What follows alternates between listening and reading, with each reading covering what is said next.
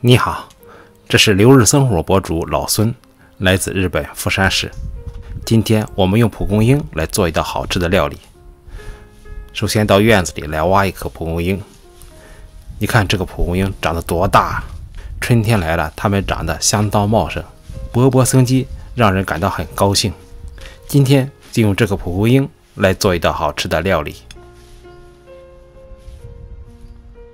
蒲公英中含有蒲公英醇、蒲公英苦素、咖啡酸、果胶、树脂等物质，从而能有效的抑制病菌。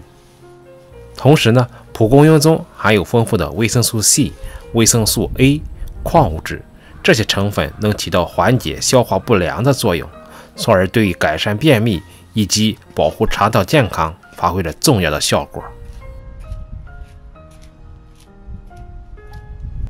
接下来把蒲公英摘一下，把根切下来，一会儿再移植到别的地方去。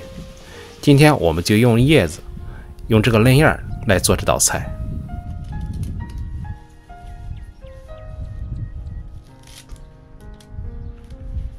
蒲公英中含有丰富的蛋白质、碳水化合物、钙、维生素，可以说是天然的滋补养生佳品。因而，常吃能够补充人体生长所需的养分，起到强身健体的目的。摘完了，接下来把剪下来的根儿移植到一个角落里。过不两天，它又会生机勃勃地出现在我的院子里。蒲公英不选择环境，对环境没有要求，生命力特别强。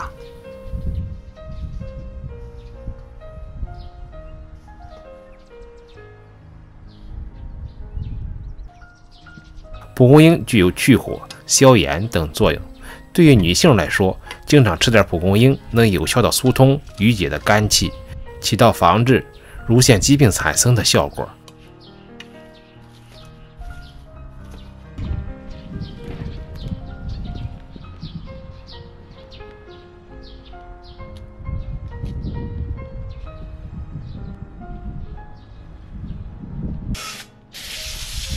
接下来清洗蒲公英，清洗几遍，蒲公英就会洗得干干净净的了。蒲公英中的聚糖、葡萄糖成分能显著增强增强体内抗毒的功能。孕妇喝蒲公英茶可以提高对疾病的免疫力。蒲公英泡水能够缓解口干舌燥的症状，对治疗热毒症、目赤肿瘤。化脓性疾病以及清肝热有较好的疗效。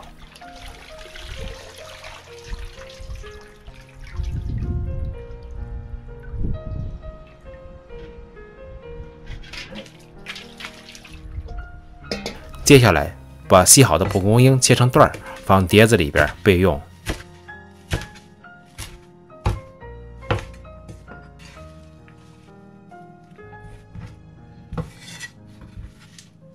之后呢，我们再切一点包裹用的材料：姜、蒜和葱。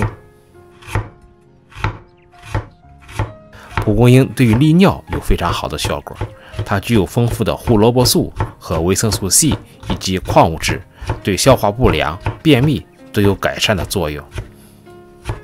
蒲公英的叶子还有改善湿疹、缓解皮肤炎、关节不适的净邪功效。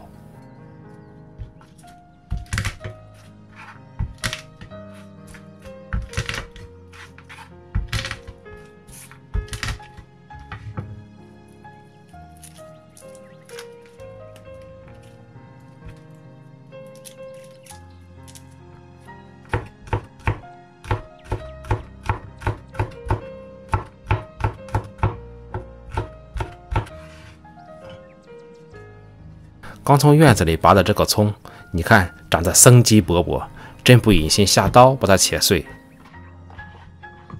没办法，实在是对不起了。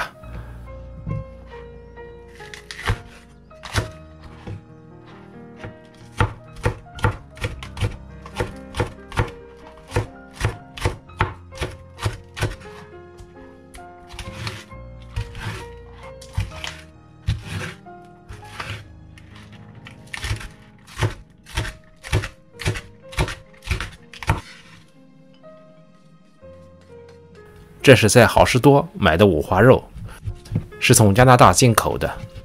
日本的猪肉大多来自加拿大，日本国产的猪肉要比进口的猪肉贵两倍多。这块这块五花肉呢，一百克是八十日元，换算成人民币的话是这样的一斤五花肉相当于二十四元人民币。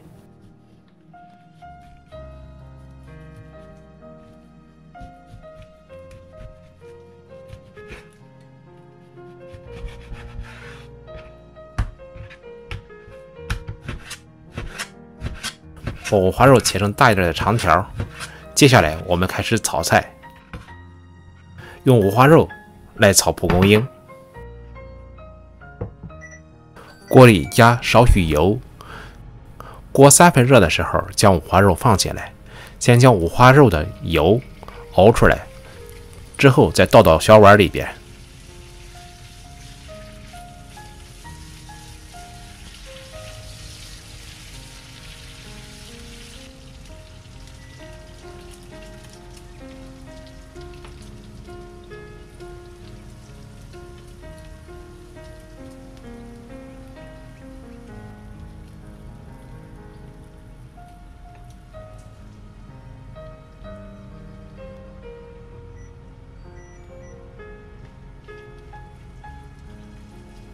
接下来加入少许陈醋，陈醋能够去腥去膻，并且使炒出来的肉特别嫩。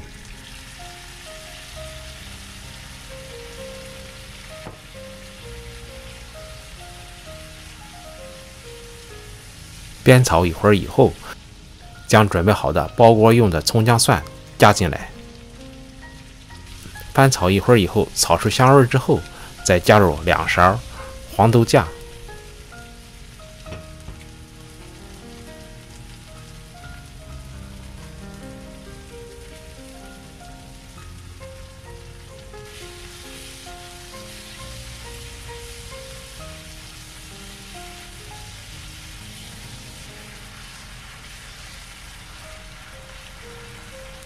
炒出香味之后，再加入少许酱油。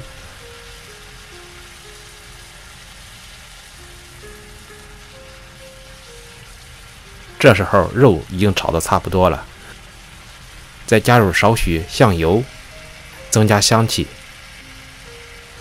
这道菜关键是炒肉，肉炒好了，基本上这个菜就已经完成了。稍微煸炒两下之后，再将准备好的蒲公英倒进来，翻炒两下。马上出锅，因为蒲公英特别嫩，这里呢不能炒的时间太长了。翻炒两下以后，马上出锅，一道五花肉炒蒲公英就做好了。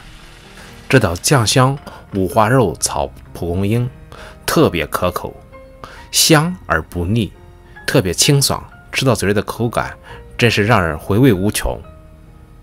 尤其是就着米饭吃，真是太下饭了，特别推荐给你。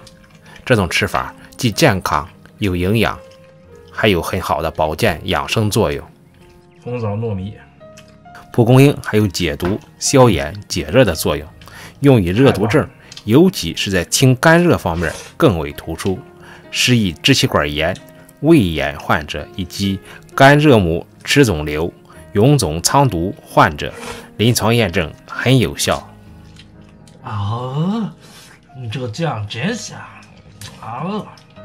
吃的什么菜？八宝菜。这样吃啊？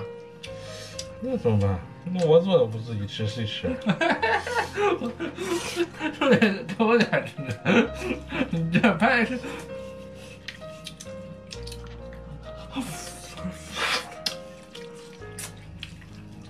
嗯，你吃多少？这盘都我的，还做这点儿。嗯，吃口米饭。蒲公英这是太甜了。这是蒲公英。嗯。哦。消毒杀菌，去寒去湿。